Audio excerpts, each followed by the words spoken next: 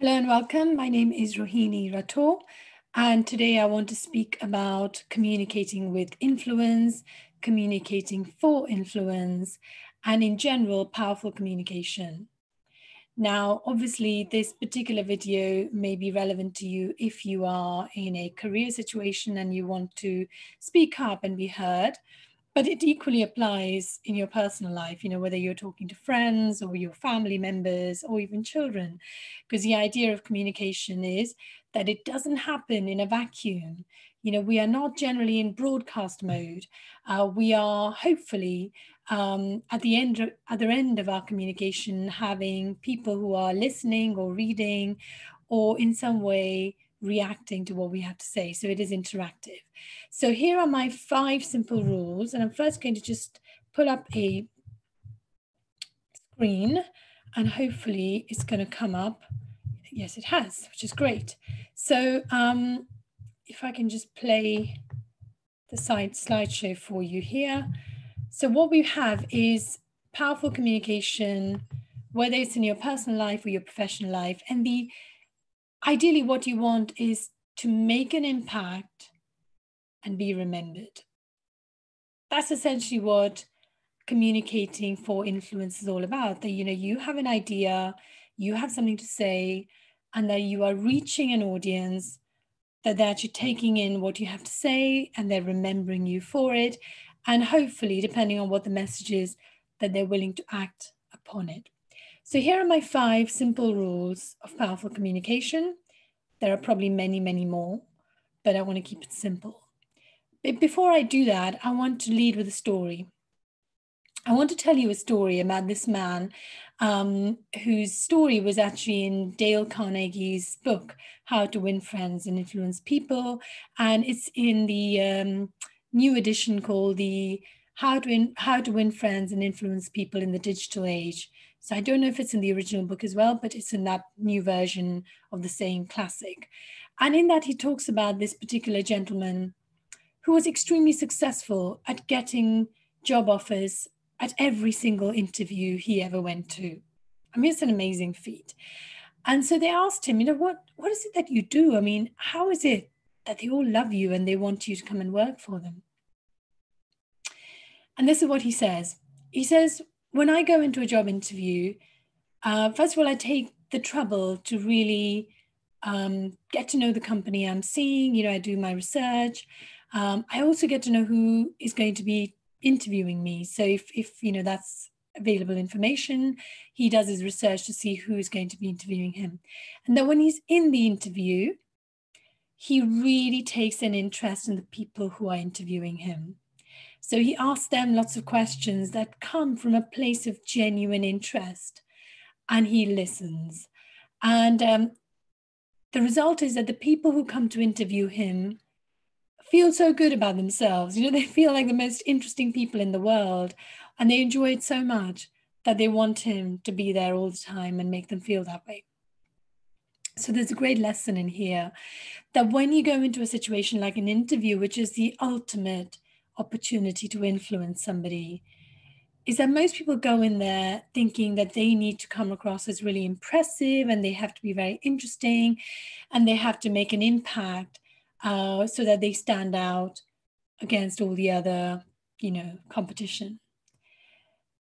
But what this particular story reminds us is that actually at the end of the day people remember you when you make them feel good, when you make them feel like they're the most interesting, the most impressive people in the room, not the other way around. Okay, so bear that story in mind. And with that, now we're going to go into our five simple rules. So, rule number one is be present.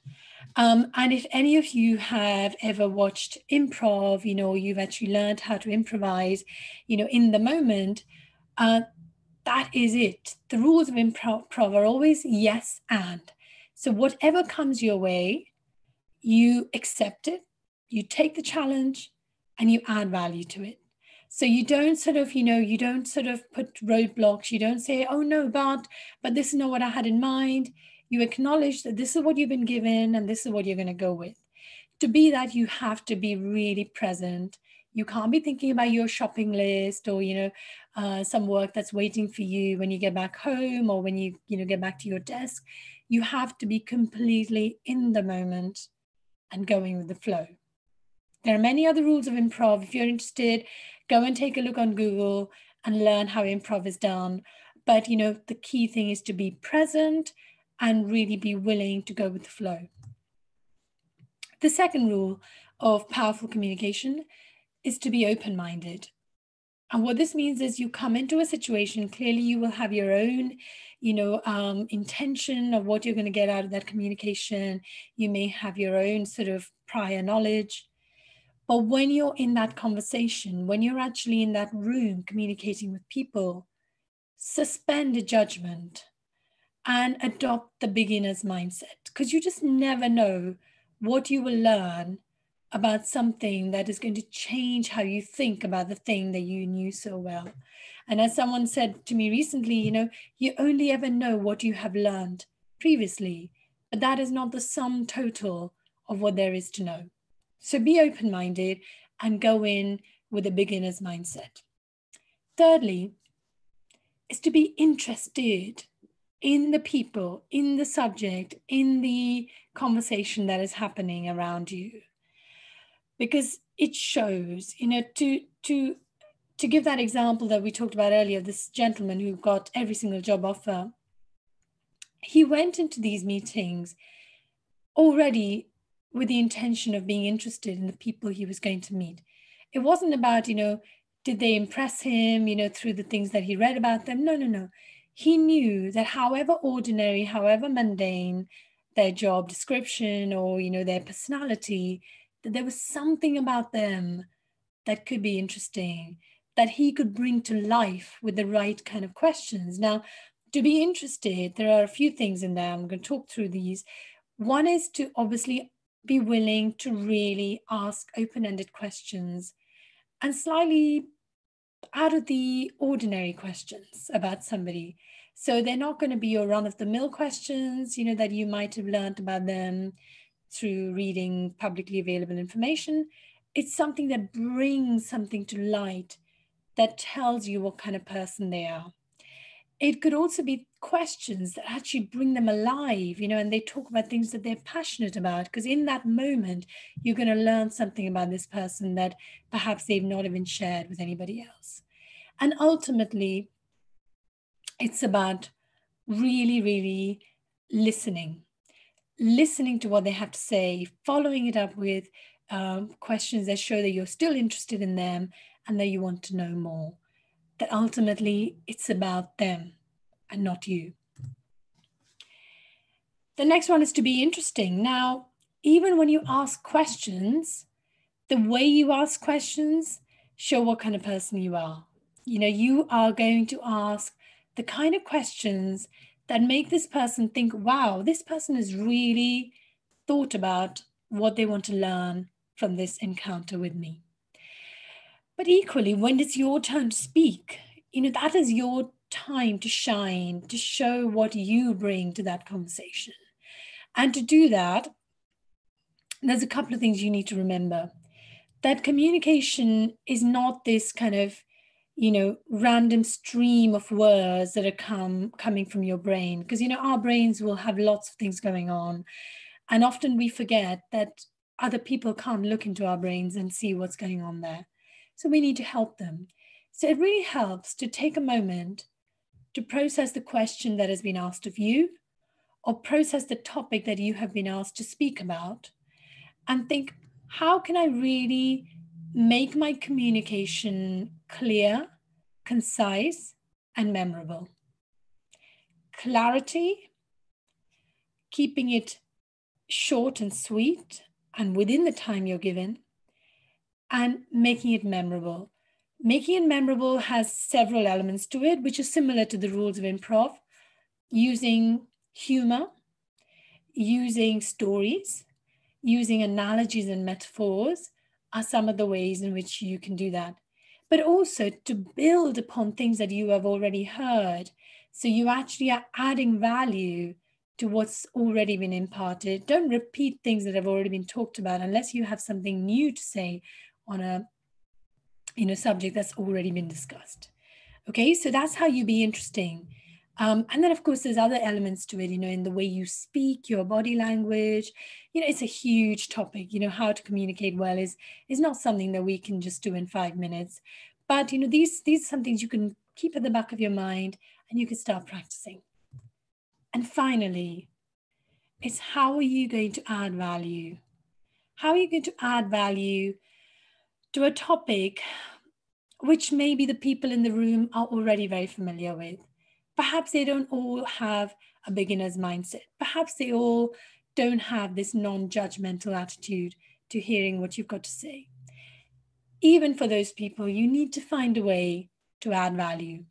And you can do that by sometimes asking them questions. What do you think? What do you want to know? How do you feel? What's your feedback from what you've just heard?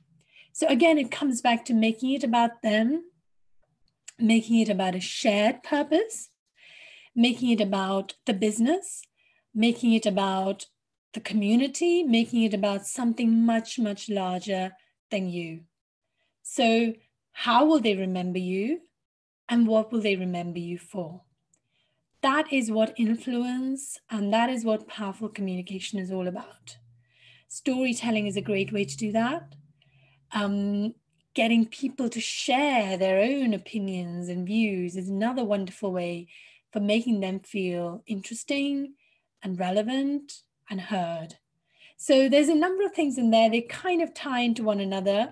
But if you can just remember, you know, be present, which means really listening and being in the moment and going with the flow, being open minded, not coming in thinking, well, I'm an expert. I already know this. I don't need to be here. In which case, you won't be present. You are already thinking that there's nothing in this conversation that's going to add value to me. In which case, you have already checked out, and people know it. People can tell when somebody's not really listening. Be interested in the people who are there, however mundane or irrelevant they may seem on on you know on um, paper or by just looking at their personality be interesting in a way that's going to make people feel like you have something to say that they will remember you for. And finally, add value in a way that is very, very win win.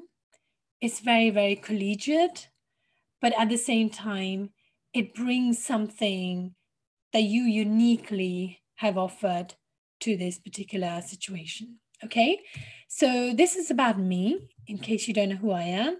So I work with leaders and helping them to become self aware and, you know, develop self belief and also become more mindful in their behavior towards others, so acting with greater self control. And I bring a wealth of experience from my previous career, but also in some things that I learned both in my previous career in wealth management and what I do as a coach. And this is all I want to say about me. So ultimately, I think when you make an impact and be remembered, that's when you start to really influence people and you start to create the change that you wish to see. I hope this has been useful. If you've got any feedback or any questions, or you want some more details on the things we talked about, please get in touch. I would love to hear from you.